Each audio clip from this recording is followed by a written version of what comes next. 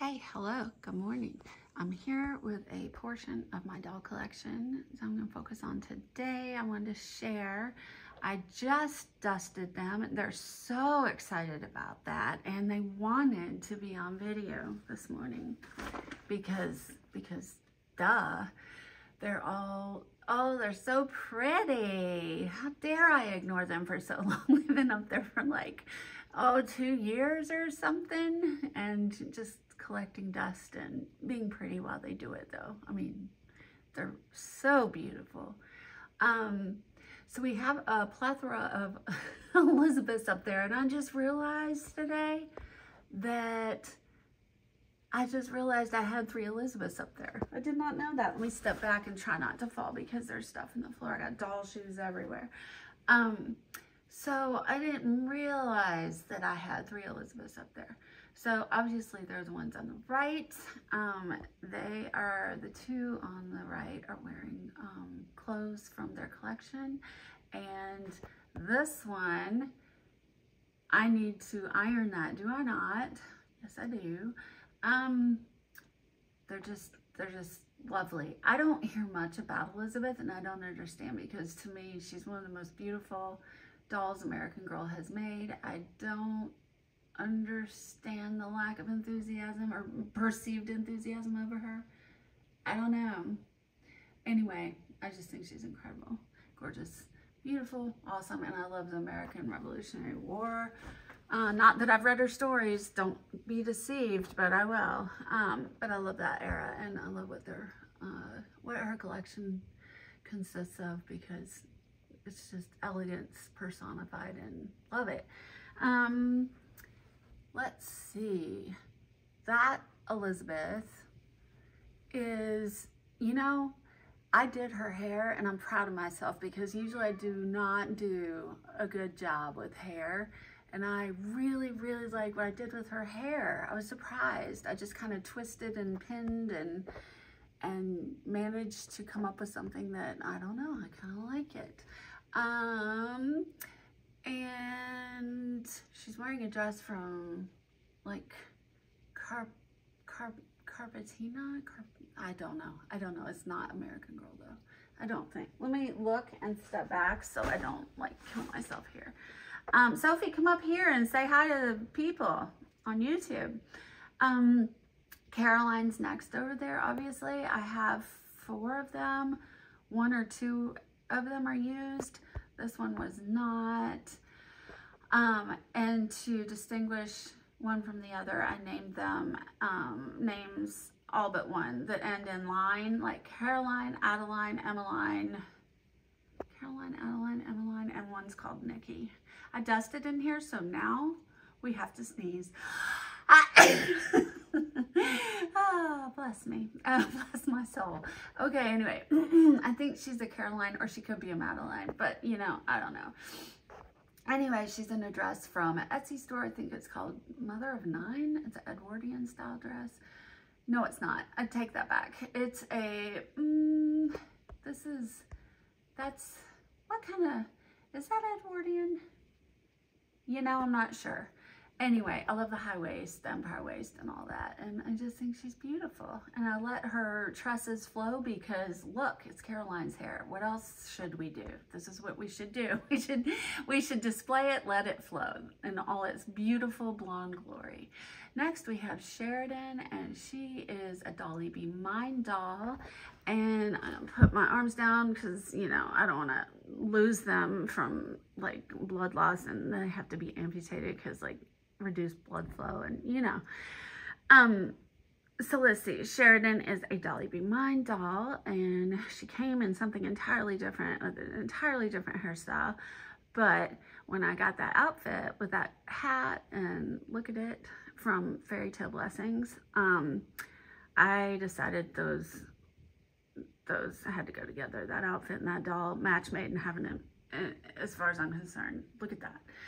Just gorgeous. So she's been in that a while and she needs to like it because I don't think I'm ever going to take her out of it. I just think, oh, she's gorgeous. I think I did that around Valentine's Day and I was just, come here, Sophie, delighted.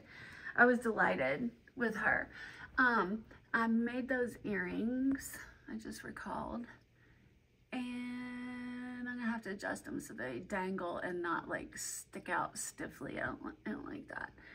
Um, anyway, Dolly Be Mine, Fairy Tale Blessings outfit. And she has Dorothy's, Dorothy's slippers. she's been barefoot for like the whole time she stood on that shelf she's been barefoot and i just realized that this morning as her cute little red painted toes were sticking out of underneath her dress and i was like oh she needs shoes so now she's wearing dorothy's dorothy's shoes anyway um so that's my top shelf and now down here thank the lord so i can get blood flow back in my arms and brain and yes okay let's move this out of the way. Doll shoes. Okay. Sorry if I made you guys sick. I'm so sorry. Um, over on the left, we have, obviously, Julie. And we all know, if you've watched other of my videos, I've spoken of it ad nauseum. I am Julie. I grew up in the 70s and the 80s. And so when I started to get into these dolls, what really snagged my attention was the Julie and her collection because she's Julie and she's from the 70s and her collection just, oh my gosh. Like, look at this toilet, okay? Yeah, that I had, I had, Julie, Julie was what won me over to the American Girl doll collecting thing at my age. I'm in my 50s and yeah, it was the Julie um, and her collection ultimately that really snagged me. And now here I am um, fully immersed in this collecting of American Girl doll hobby. This is supposedly Gwen. I got two Gwens, um, nude Gwen dolls on maybe eBay or Mercari. Um, couldn't decide between the two and bought them both. Actually, I think there was a mistake in how that went down a while back. Um, and I ended up with two. And so I don't have her meat, but this is what she's wearing. I think she's really cute in it. That's an Elite Doll World skirt, I think. Not sure where the shirt's from or the boots. And those are Amazon bows. Next, we have Christine. She's another Dolly Be Mine doll. Um, glorious, gorgeous. I love all of Karen's work. It's just sensational. I have a lot of her dolls. Christine needs her hair done. Um, we'll get to that later. That shirt is by Fairy Tale Blessing. Julie of Fairy Tale Blessing. Um, and these cute little pants I think are Silly Monkey. And those boots, who knows? You just never know. Maybe Amazon. Next, we have a doll I customized. It is a Josefina face mold. Don't know what base doll I used, but she's wearing a dress from Etsy. Those are Melody's shoes from one of her dresses.